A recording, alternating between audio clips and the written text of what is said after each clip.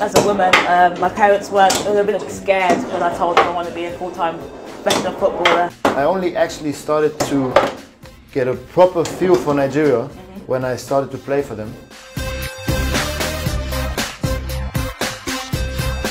I think it's known now that I haven't been there before I played for the national team. It always humbles me as well. It's just one of the most welcoming, friendliest like nation people you'll, Yeah. you'll ever meet.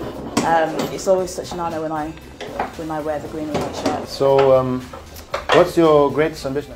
I want to be the best. I want to be as best as I can be. You know, Mm-hmm. so um, maybe like making more World Cups. Um, How many have you played so far? uh, just one. you know. Okay, that's cool. But What are your What are your ambitions for life after football? What's your plan? I would still love to play Champions League. That's like just one of my dreams. Um, and if I'm still fit enough, uh, I would love to play the, the next World Cup with Nigeria. Yes, And then, then I would be fine to go.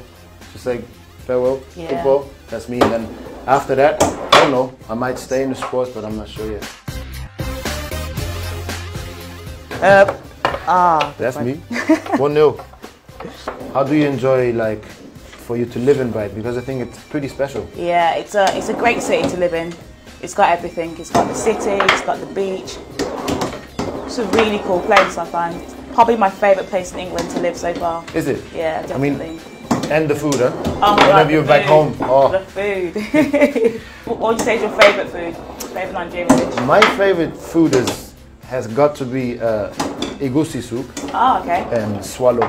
Mm-hmm. Like usually I take pounded yam. Mhm. Or gari is also fine. Yeah. But um, oh yeah, yeah.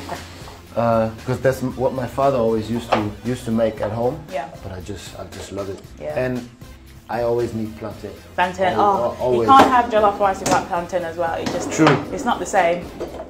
What about you? I love yam and beans. Ah, no, I'm not a big fan of beans. Oh, I to be- love beans. I think because I grew up on it, so Yeah. my mum always used to make it, and jollof rice, of course. yeah. You can always have it, Yeah, always. but not before a game. yeah.